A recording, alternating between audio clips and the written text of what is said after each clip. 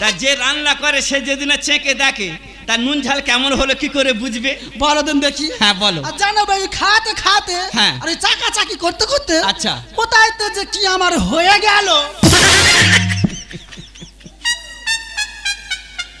ফের তুই কর কর করে দেখিস। কেন ওরা সব খেলা কিছু নেই? অসভ্য ছেলে বলে কথাকার। আবার কাপড় সরি না। হ্যাঁ বলো।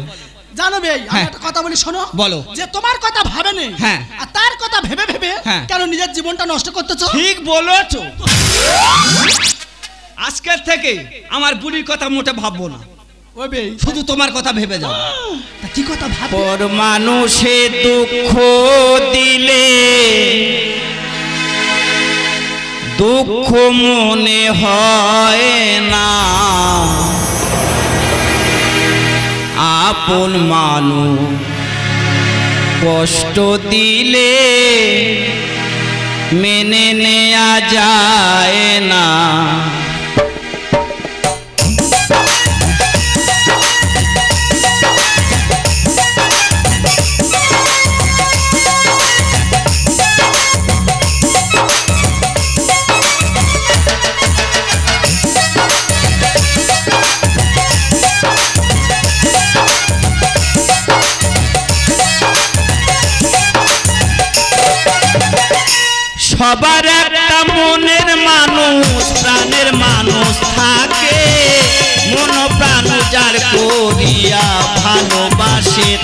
তাকে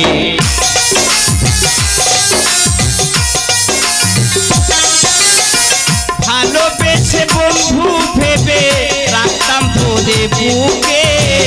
আদর করে যতন করতাম, হলো আড্ডা ছেড়ে শেষ বয়সে তবু কি তোর আশা পূরণ হয়? আপন মানুষ কষ্ট দিলে মেনে নেওয়া যায় না। কাছের মানুষ কষ্ট দিলে মেনে নেওয়া যায় না। আপন মানুষ কষ্ট দিলে মেনে নেওয়া যায় না।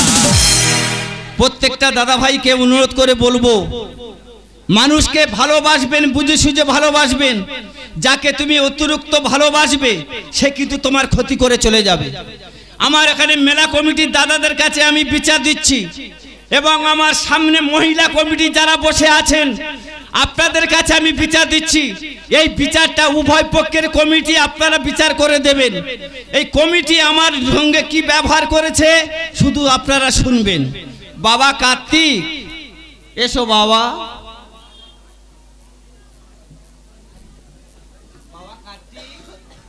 হ্যালো, ভালো আছো বাবা? ভালো আছো তো? হ্যাঁ কার্তিক তো তুমি ভালো থাকবে। তোমার দুনিয়ার লোক পুজো করছে, তুমি ভালো থাকবে না? গাদা গাদা খাচ্ছ, ভালো মন্দ, তুমি তো ভালো থাকবে। তা বাবা, তুমি আমার বায়না করতে গিয়েছিলে না? তা সন্ধ্যা হয়ে গেছে বলে আমার বাড়িতে তোমার ডেকে নিয়ে গেলাম, ভালো মন্দ খাওয়ালাম। তা লাস্টে সলিয়ে গলিয়ে আমার বউটা নিয়ে পালালে।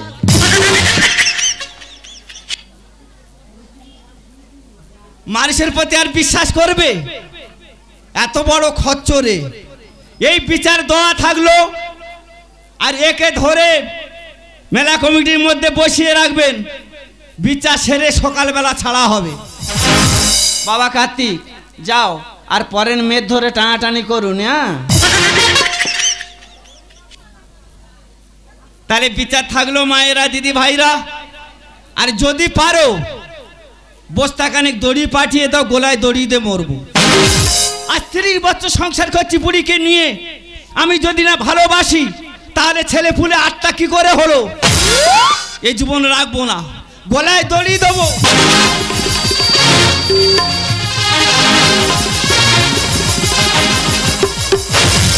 বেই তোমার কি হয়েছে? তুমি গোলায় দড়ি দিচ্ছ কেন?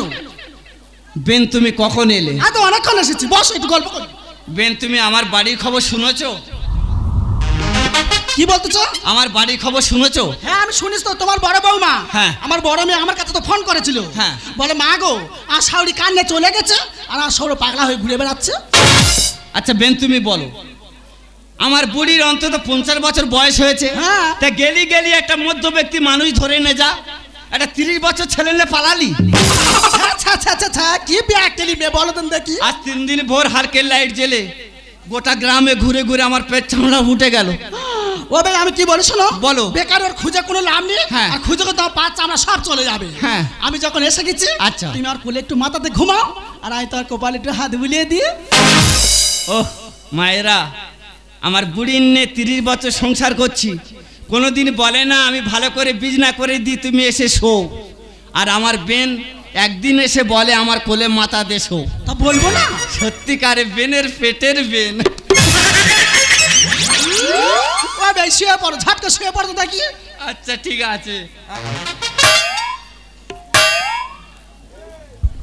আহ জানো দিদি ভাইরা আমার বুড়ি কোনোদিন বলে না একটা বালুস মাথায় দিয়ে এসে শো।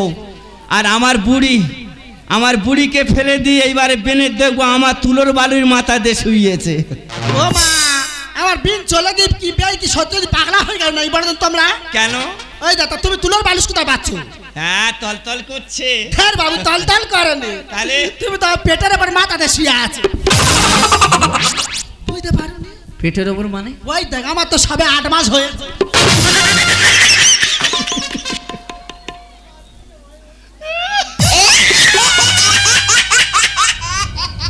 ও বাবারা আমি মনে করি আমার বুড়ি একা খোঁজরি তার থেকে ডবল খোঁজরি আমার বেন।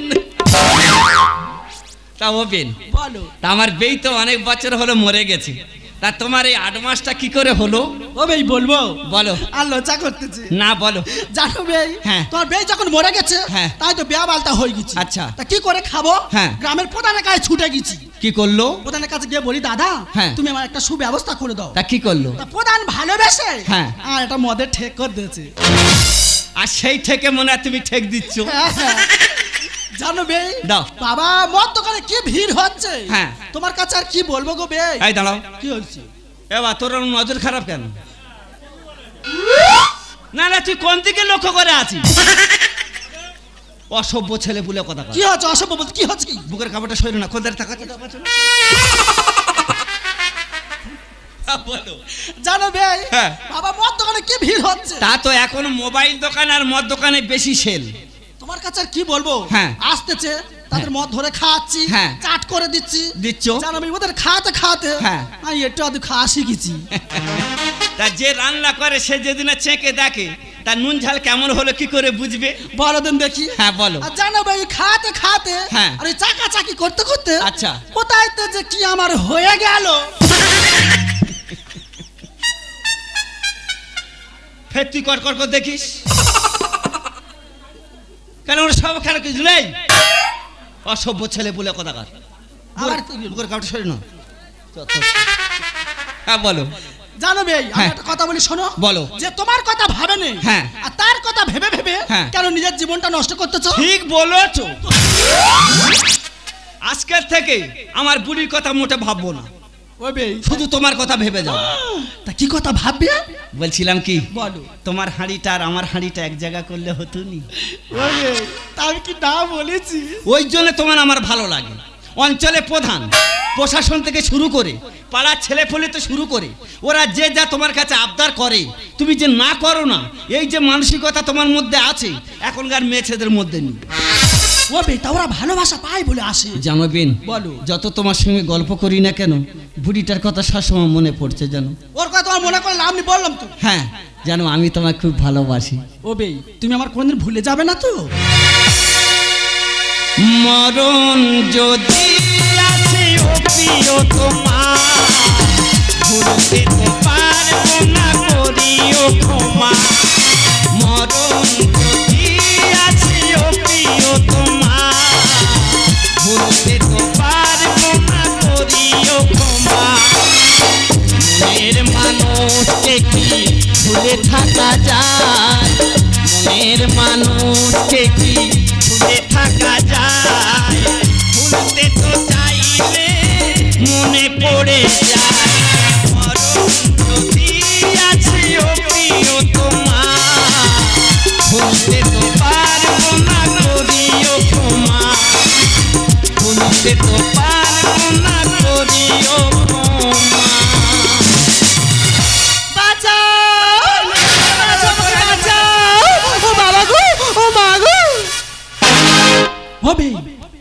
চেল্লামিল্লি হচ্ছে কোথায় গো?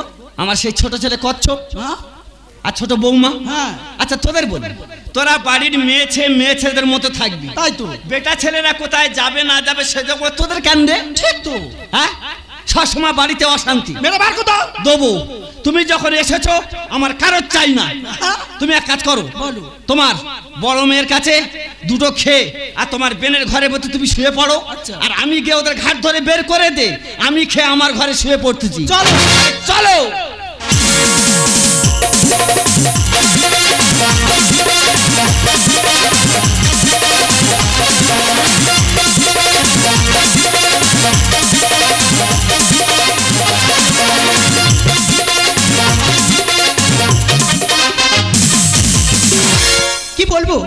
সব মেয়েরা আমাকে দোষ দেয়। কিন্তু কেউ আজ পর্যন্ত আমার এই মনের কষ্টটা, কি বলব? পাড়ার সব মেয়েরা আমাকে দোষ দেয়। কিন্তু কেউ আজ পর্যন্ত আমার এই মনের কষ্টটা বুঝলো না। আমি কেন কাঁদি? পাড়ার লোকে কেউ তো বোঝে না। আমি কেন কাঁদি? পাড়ার লোকে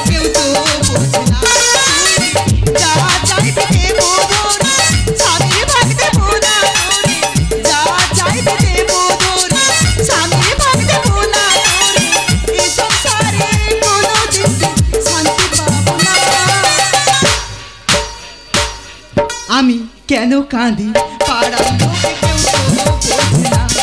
আমি কেন কাঁদি পাড়ার লোকে কেউ তো বোঝে না। আমি কেন কাঁদি পাড়ার লোকে কেউ তো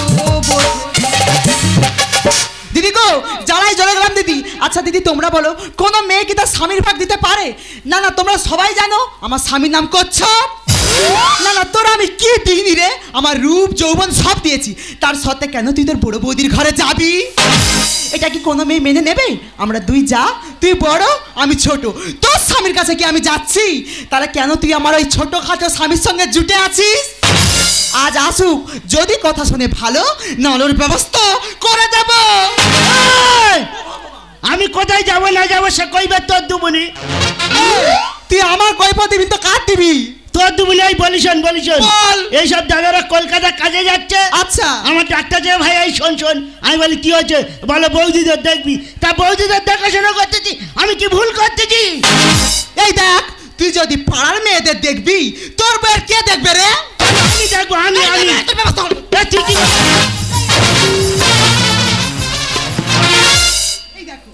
তোমার আমি কি দিইনি বলো তো? তা আমি তোর কি দিইনি। এই তুই আমার কি দিয়েছিস বল? তা তো সব দিদি তুই যদি আমার সব দিয়েছিস তাহলে রাত হলে কেন তুই তোর বড় বৌদির ঘরে যাস? সে কইবে তোর দুবনি। এই তুই আমার দিবি কার দিবি? এ তোর দুবনি। তোকে বিয়ে হয়ে আমার জীবনটা পুরো শেষ হয়ে গেল। করেছিলি কেন? আগে যদি জানতাম তোর এই রূপ আর এই বডি তাহলে তোর মুখে আমি ঝাঁটা মেরে কর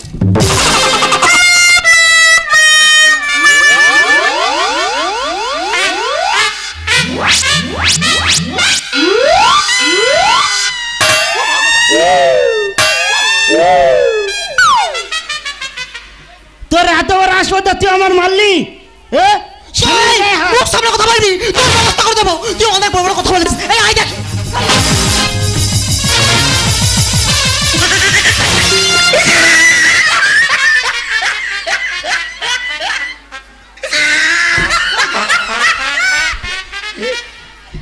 দাদারা তোমার আর কেউ পে করবে? বউয়ের হাতে মার খেতে খেতে জীবন যাবে। এ তোর এত বড় হাসপাতাল তুই আমার মারলি? দিদি গো তাহলে একটা কথা বলি শোনো। আমি যদি পাড়ায় বেরিয়েছি সব মেয়েরা কি বলে জানো? হ্যাঁ রে কবিতা তোর আবার ছেলেটা কবে হলো? আচ্ছা দিদি তোমরা বলো নিজের স্বামীকে যদি কেউ ছেলে বানিয়ে দেয় সেই লজ্জার কথা আমি কাকে জানাব? তোর মেরে মেরে ফেলে দেবো। এইবার তোর কেউ কি ও দিদি তোমরা কে কোথায় আছো? আমাকে বাঁচাও। আমাকে বাঁচাও। তোর কে বাঁচাবে এবার এই দেখ তুই আমাকে ছেড়ে দে। আমি যে বাঁচতে চাই। তুই বাঁচতে চাস? তোর মেরে মেরে ফেলে দেবো। তোর বাঁচাবো।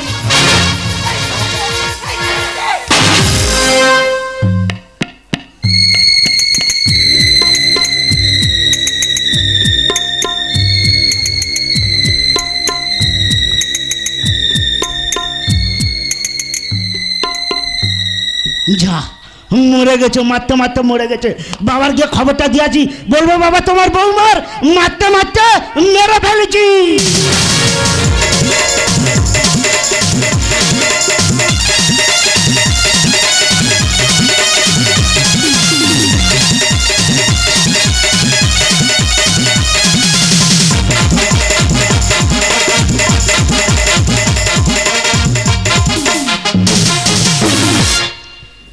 কি অনেকদিন বাদে আমার মা এসেছে। খাওয়া দাওয়া করেছে, ভালো মন্দ। তা কী করব? শাশুড়ি মার ঘরে পাকা নিত। তো আমার আমার ঘরে আমার মা মেয়ের সঙ্গে আমার শাশুড়িমার আমার মা শুয়ে দিচ্ছি, আর আমি এসেছি আমার শাশুড়ি মার ঘরে থেকে একটু ঘুমিয়ে থাকি। অনেক দিন পরে এসেছে আমার মা।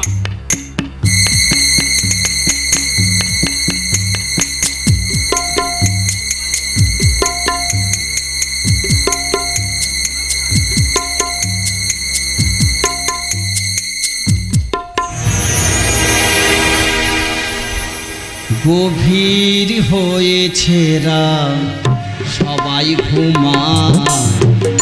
হয়তো বেনু গেছে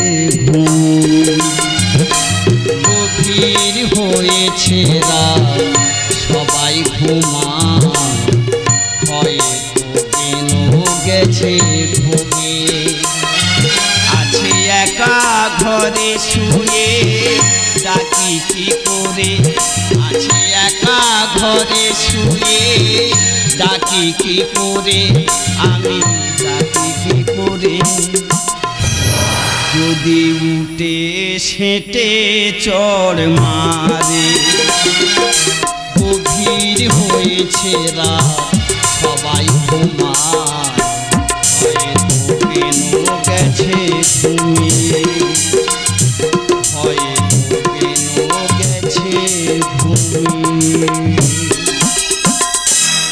ও বেন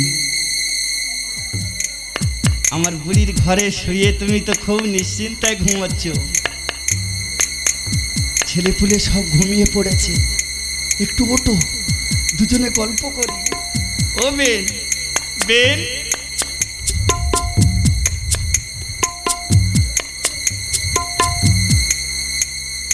ও বেন ওটো তোমার জন্য আমার সারা রাত ঘুম আসছে না জানো? বলি দুজনে একটু গল্প গাই করব। আমার তুমি? বড় বৌমা তুমি তোমার শাশুড়ি ঘরে কেন? আরে মা গরমে থাকতে পারে না। তো বললাম আমার ঘরে পাকা আছে আমার মেশিন তুমি শুয়ে পড়ো আর আমি শাশুড়ি মার ঘরে আছি। তা তুমি এখান কেন? তার বাবু বাজে মেয়ে ছেলে কোথাকার? তোমার কোনো জ্ঞান কাণ্ড আছে? কেন? বাবারা তোমরা বলো আমার বেনটা এসেছে কতদিন পর? একা ঘরে শুয়ে আছে। আমার একটু লক্ষ্য করতে হবে না। কোথায় মশা কামড়াচ্ছে কোথায় পিমড়ে কামড়াচ্ছে। এটা আত্মীয় তো। আত্মীয় যদি আত্মার টান থানা থাকে সে আত্মীয় থাকবে। তোমার কি জ্ঞান হলো তুমি এখানে শুয়ে আছো? আমি ধরলাম মা এখানে শুয়ে আছে। তা তুমি কোন সম্ভবে এখানে এসো এমা হ্যাঁ। আমি মনে করি তো তোর শাশুড়ি ঘরে তোর মা। তা ভালো হয়েছে। তা শাশুড়ি ঘরে মা আছে তা তুমি এখন কি জন্য এসো এমা আমি বুঝতে পারিনি। বুঝতে পারিনি। তুই এখানে আছিস? আমি বুঝতে পেরেছি তোমার সে বংশের দোষ আছে এই জন্য শাশুড়ি মা চলে গেছে। ঠিক করেছে। এমা। বেরিয়ে যাও এমা। তোর এমা তোর হাত ধরেছি। আমার তুই পাঁচকাল করি। আমার কথা শোন। ও বাবা! বাবা সে কই রে?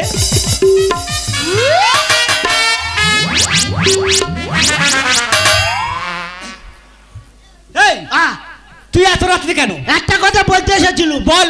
তোমার বৌমার হ্যাঁ। মারতে মারতে মেরে ফেলেছি। ঠিক করেছি। ঠিক হ্যাঁ? এই কি বললি? তোমার বৌমার মারতে মারতে মেরে ফেলেছি।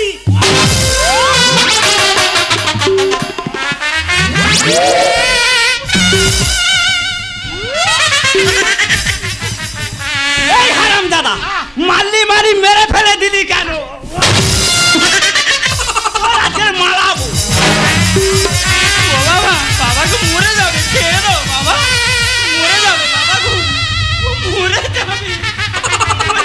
মেরে ফেললি কেন?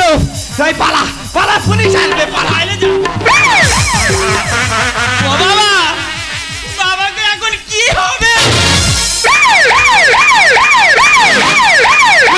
পুলিশ ঢুকে গেছে। কি হবে এখন? এক কাজ করো তুমি হ্যাঁ। তুমি আমার নাতিকে নিয়ে পালাও। ঠিক আছে দেরি করো না।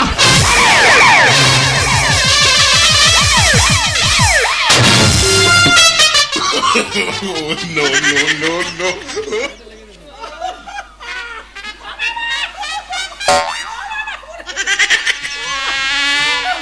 তা তুমি এই অবস্থা বাবা বাবা করতে কি জন্য? তা তুমি আর ছুটপিলামি করতে কেন? ওই বের সর্বনাশ হয়ে গেছে। রাস আছে আমার ছোট ছেলে হ্যাঁ। বউ মান মার্ডার করে দিয়েছে ও পুলিশ ঢুকে গেছে। ও বাবা, বাবা। ধরে দাও। তুমি পালিয়ে যাও। তোমার বাড়ি চলে যাও। ভাই তুমি আমার ছেড়ে যাওনি কবে? কি করবে? আমার যে যন্ত্রণা শুরু হয়ে গেছে।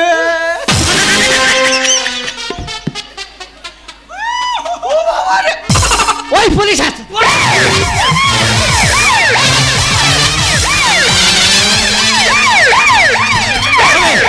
চতুর্দিকে ঘুরে ফেলেছে রাস্তায় বার হলে ধরে নেবে এক কাজ করে এসো আমরা দুজন আমাদের ধানের ঠেকের মতো ঢুকে এসো তাড়াতাড়ি চলো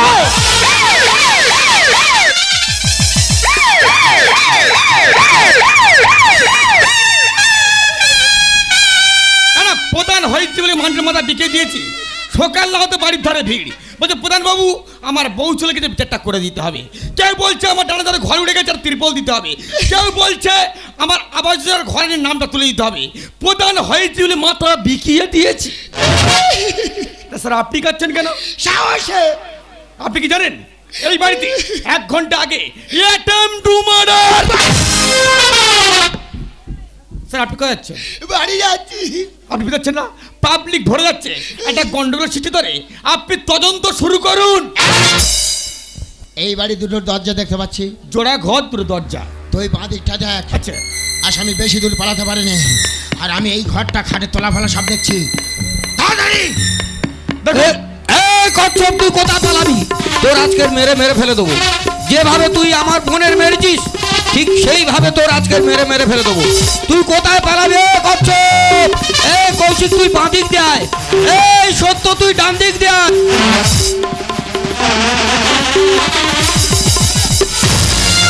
আরে সাহেব তুই আমাকে মারলি? এই রে প্রধান সাহেব আমি বুঝতে পারিনি। বুঝতে পারছি না। আমার মাথা ঠিক নেই প্রধান কি বলিস শোন? এই সে কচ্ছপ কোথায়? কচ্ছপ গ্রাম ফেরে পালিয়েছে। কোথায় পালাবে সে? মার্ডার করে পালিয়েছে কোথায় যায়নি ঘরের ভেতর লুকিয়ে আছে? মার্ডার কর কোথায় পালাবে? কেসটাকে আমি দেখছি। কে আমি তো প্রধান ওর আজকের মেরে মেরে ফেলে দেবো মাথা ঠান্ডা কর। যেভাবে আমার বোনের মেরেছে ঠিক সেইভাবে মেরে সাহেব! ফেলে ও খাটের নিচে লুকিয়েছে। কথাটা কি বলিস শোন? ওর আজকের আমি দেখে ছাড়বো। কথাটা কি বলি no, no, no, no. আরে সাহেব আর তুই কাকে মেরেছিস? কেন আমার ভগ্নিপথ কচ্ছপ। সর্বনাশ করছিস। ওই ঘরের মতো প্রশাসন ছিল। আস্তে আস্তে ধরে নেনা বের করে আস্তে আস্তে ধরে নেনা বের করে জঙ্গলা শাবল দিল্লি আমার গেরে জঙ্গলা শাবল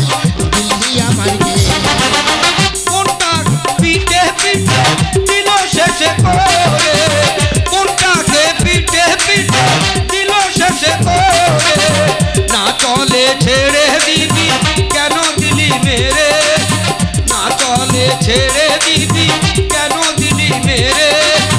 সেই রাগে না দেখে দিলাম আমি গেড়ে। কি বলি শোন? যা হর হয়ে গেছে ফিরে পাওয়া যাবে না। চল ঘরের মধ্যে গিয়ে শাবলটাকে টেনে বার কর। চলুন প্রধান সাহেব চলুন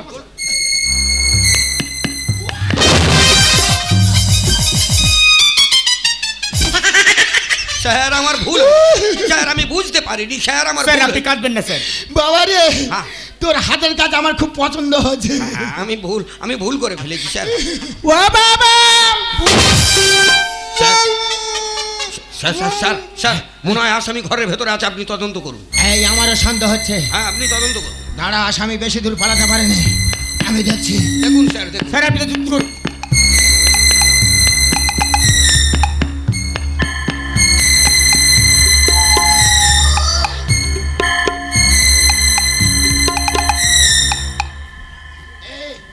এটা কি? ওটা ধানের ঠেক। ধানের ঠেক? হ্যাঁ। আমার সন্দেহ হচ্ছে। দাঁড়া আমি দেখছি। দেখুন। এটা ধানের ঠেক কি কি? হ্যাঁ।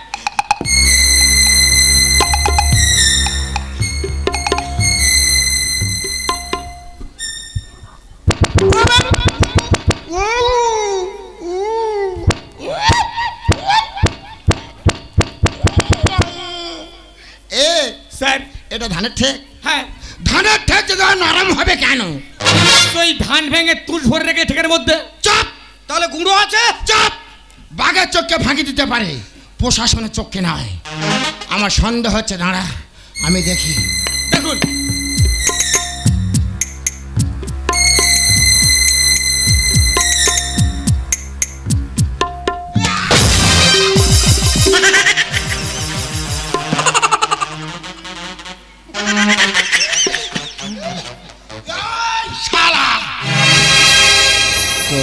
কতদিন পরে এলে। কতদিন পরে এলে? একটু বসো। কতদিন পরে এলে? একটু বসো। তোমায় অনেক কথা বলার ছিল। যদি শোনো কতদিন পরে এলে কতদিন পরে এলে কতদিন পরে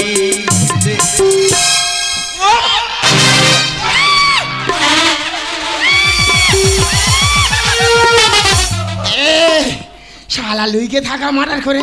কে মার্ডার করেছে? তুই! আমি মার্ডার করিনি। না স্যার। ও ঠিক কথা বলছে। মার্ডার উনি করেনি ওনার ছোট ছেলে কচ্ছপ মার্ডার করেছে। যে মার্ডার করেছে তাকে ধরুন আমি আসি। তুই কোথায় যাচ্ছিস? আমি ঘরে যাব।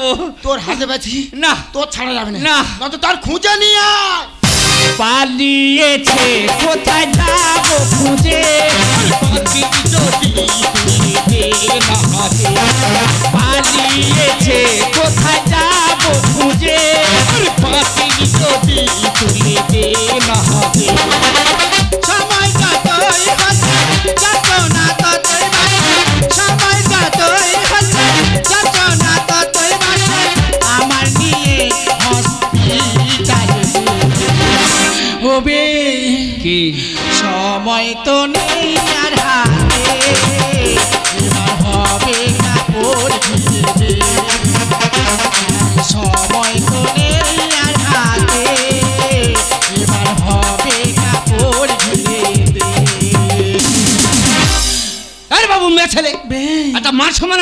আছে?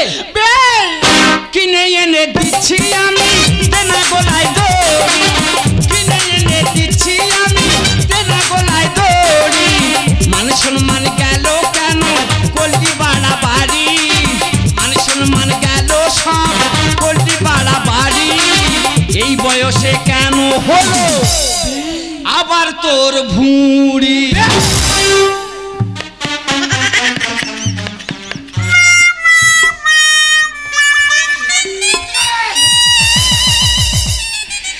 আমার যন্ত্রণা হচ্ছে বলে আমি কিছু বুঝতে পারিনি। কি? ওটা কে? আমার বেন। ওটা তোর বেন? হ্যাঁ। তোর বেন যদি হবে হ্যাঁ। শীতে সিঁদুর নি হ্যাঁ। হাতে শাঁখা নি। না। এ কথা তাই বলতে পারব না। এখানে অঞ্চলে প্রধানকে জিজ্ঞাসা করুন আমি আসি। বেশি কথা না তাকে ওঠ না গাড়ি আর ওদের দুজনের লাগাও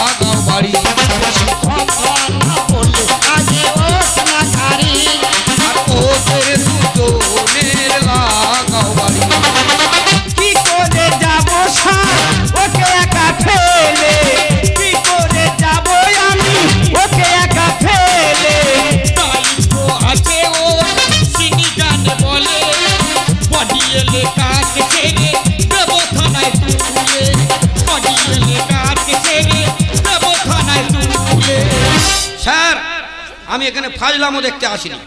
চব্বিশ ঘণ্টার মধ্যে আসামিকে ধরা চাই আহ। আর তা না হলে আমার বোনকে যেভাবে পিটিয়ে পিটিয়ে মেরেছে আমি যেখানে দেখা পাবো ঠিক সেইভাবে পিটিয়ে পিটিয়ে মেরে মেরে ফেলে দেবো। আমি কি বলেছিলাম স্যার? আমি প্রধান হওয়ার আগে হ্যাঁ। তিরিশ বছর ডাক্তারি করেছি হ্যাঁ। তবে আমি প্রধান হয়েছি। যন্ত্রণা কি কারণে হচ্ছে আমি নিজেই চেক আপ করে দেখছি। যাও যাও তাই তো বলি আট মাসে তো বাচ্চা হয় না। আচ্ছা বাবু মেয়ে ছেলে? ডাক্তার বাবু আচ্ছা তোমার কমাস হয়েছে বলুন তো? ডাক্তার বাবু আট মাসে পড়েছে। পাঁচ মাস লাগে। কি দেখলেন? কচ্ছের বাবা? হ্যাঁ। আট মাস কেন বাচ্চা হয়। আমার তো সন্দেহ হচ্ছে হয় না জানি। কি বলিস বলুন। তোমার বিন কদিন তোমার বাড়িতে এসছে? তিন দিন হচ্ছে। নিশ্চয়ই ভালো মন্দ খাইয়েছো। হ্যাঁ। এটা তো গ্যাসের ব্যথা। ঠিক বলেছেন। ঠিক বলেছেন। স্যার আমি কি বলি স্যার? আপনি কচ্ছের বাবাকে নিয়ে যান। যতটা কচ্ছপকে পাচ্ছেন। কিন্তু বডি পোস্টমর্টম হয়ে আসার পর হ্যাঁ। কচ্ছের বাবাকে এক ঘণ্টার জন্য আনবেন হ্যাঁ। সৎকার্য হয়ে গেলে আবার কচ্ছের বাবাকে নিয়ে যাবেন। কচ্ছপকে পেলে আমি আপনার হাতে তুলে দেবো। আসছি স্যার। আপনার সঙ্গে ফোনে কন্ট্যাক্ট করে নেব। নমস্কার আসিয়া তুই কোথায় যাচ্ছি চলে যাচ্ছি দু নম্বর ঘরে। এই দুই নম্বর করে যাচ্ছি হ্যাঁ। গাড়ি উঠবি চ। না হ্যাঁ? আমি যাব না। কেন? আমার নিয়ে চলে যাবেন। হ্যাঁ। তাহলে যাবার সময় হ্যাঁ। একটা অনুরোধ করব। কি? পাঁচটা মিনিট সময় দেবেন। কেন কেন? আমার বেনের সঙ্গে একটু গল্প করব। কার থেকের ভিতরে গল্প করে হয়নি? নাসার জীবনে ভয়তে দুজনে লুকিয়েছিলাম যদি ধরে নিয়ে চলে যান। হ্যাঁ। পাঁচটা মিনিট সময় দিন আমি কথা বলে আর চলে যাব। ঠিক আছে। পাঁচ মিনিট তোর সময় দেবো। হ্যাঁ। কিন্তু একটা কথা দিতে হবে। বলুন। পালাবার চেষ্টা করলে হবে না। আমি সবার সামনে কথা দিচ্ছি। হ্যাঁ। যদি সুযোগ পাই দাদা ভাইরা পালাবই তোরা ছাড়া যাবে না। ভুল করে বলে ফেলেছি। আমি কথা দিচ্ছি গল্প সেরে আমি নিজে গিয়ে গাড়ি উঠবো। ঠিক আছে গাড়ি নিয়ে দাঁড়িয়ে আছি। যান। যান। উপস্থিত আমার গ্রাম্যবাসী বাবারা মায়েরা যারা আছেন চোখের সামনে বুঝতে পাচ্ছেন একটু ভুলের দোষে আমার ছেলে মার্ডার করে দিয়েছে। জানি না আমার ছেলে বৌমা জীবনে ভয়তে কোথায় গিয়ে লুকিয়ে আছে। আমি চলে যাওয়ার পর আমার সংসার ঘরদোর শ্মশানে পরিণত হয়ে পড়ে থাকবে। তাই বেন আমি তোমাকে রেখে গেলাম। আমার বাড়িতে একটু সন্ধ্যা সাজ দিও। আর আশেপাশে যে মায়েরা বোনেরা আমার বাড়ির আশেপাশে আছেন সবার কাছে অনুরোধ করে বলে যাব আমার এই বেন যখন এই ট্যাঙ্কিটা খালি করবে দয়া করে সবাই মিলে একটু সহযোগিতা করবেন। আসিবেন বেই তুমি চলে যাচ্ছ? কিন্তু আমি তো তোমায় ভীষণ ভালোবেসে ফেলেছি। আমি যে তোমায় ভালোবেসে ফেলেছি। বেই I love you I love you too I love you three তুমি আমার ভালোবাসো। হ্যাঁ তাহলে যাবার সময় দুহাত তুলে আশীর্বাদ করো। আমি সত্তরে যেন জেল থেকে বাড়ি ফিরে আসতে পারি। হাই হাই ইয়া তুমি কি করলে? তুমি আমার পায়ে হাত দিয়ে প্রণাম করলে? হ্যাঁ তুমি আমার থেকে বয়সে বড় তাই প্রণাম করলাম। কিন্তু তোমাকে নিয়েছি আমি অনেক স্বপ্ন দেখেছি বাকি জীবনটা তোমাকে নিয়ে আমি কাটাবো? সব স্বপ্ন সত্যি হয় না। তাই তুমি ভুল স্বপ্ন দেখেছ। আমার স্ত্রী চলে যাবার পর আমি বড় চিন্তাতে ভেঙে গিয়েছিলাম। যে কোনো মানুষ যদি অতিরিক্ত চিন্তা করে সে হার্ট ফেল করে মারা যেতে পারে। এটা একটা ভালো ডাক্তারের কথা। তা বলে এই নয় আমার স্ত্রীর আসনে আমি তোমাকে বসাবো। আমাদের বয়স হয়েছে পাড়ার মানুষ বা কি বলবে? তাছাড়া আমার স্ত্রী উপস্থিত বেঁচে আছে। আমি যদি মনে প্রাণে তাকে ভালোবেসে থাকি ভগবান বলে যদি থাকে একদিন না একদিন তাকে আমার কাছে ফিরে আসতেই হবে। তাই বেন দুঃখ করো না। আমি ফিরে আসব আবার দেখা হবে। আসি বেই আবার কবে দেখা হবে? ভুলিও স্মৃতি মম স্বপ্ন সময়। নিশ্চিত স্বপ্ন সময়। আচলের কাথা মালা ফেলিও পথ করে বাহিরে ছড় বটে, নয়নে পারি ঝরে শাওন রাতে যদি স্মরণে আসে মোরে বাহিরে ঝড় বহে নয়নে বাড়ি ঝরে নয়নে বাড়ি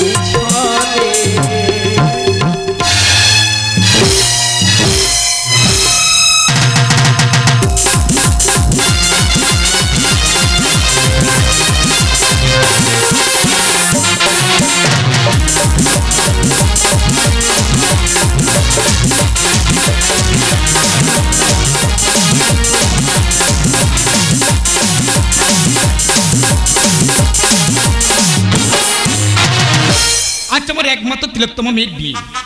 তাই বন্ধু বান্ধব কুটুম বান্ধব ধরা এসছেন আমার মেয়েকে সবাই আশীর্বাদ করবেন।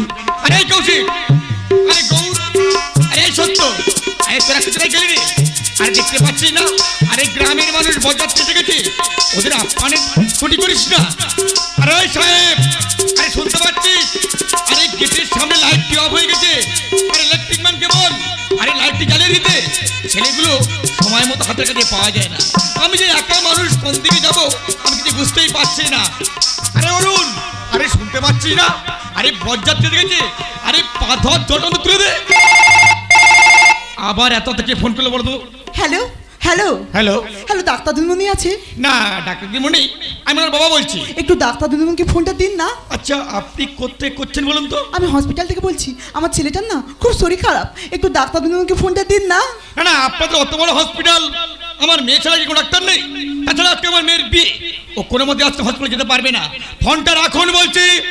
আপনি শুনতে পাচ্ছেন না? আরে ফোনটা রাখুন। বাবা কার ফোন ছিল বাবা? আরে মাত্র তোমার। ওই হসপিটাল থেকে কোনো এক গার্ডিয়ান ফোন করেছে। ও হসপিটালে ফোন করেছে? হ্যাঁ। দেখি ফোনটা আমাকে দাও। দেখব দেখ। হ্যালো? হ্যাঁ কি বলছেন? কি হচ্ছে? আপনার ছেলে খুব বাড়াবাড়ি? আচ্ছা ঠিক আছে কান্নাকাটি করবে না। কথাটা আগে শুনুন। হ্যাঁ আউটডোরে যান ওখানে ডাক্তারবাবু আছে। কি ওখানে কোনো ডাক্তারবাবু নেই? আর কি বলছেন কি? তাছাড়া যে সমস্ত ডাক্তারবাবু ফোন করছেন হ্যালো বলে সুইচ অফ করে দিচ্ছে না না এই কিছুতেই হতে পারে না। আচ্ছা ঠিক আছে কান্নাকাটি করবে না ঠিক আছে দেখছি দেখছি কি করে। আচ্ছা ঠিক আছে আমি এখনই আসছি চিন্তা করবে না আমি এখনই আসছি। হ্যাঁ রাখুন। আরে মাত্র আর তুই কোথায় যাবি?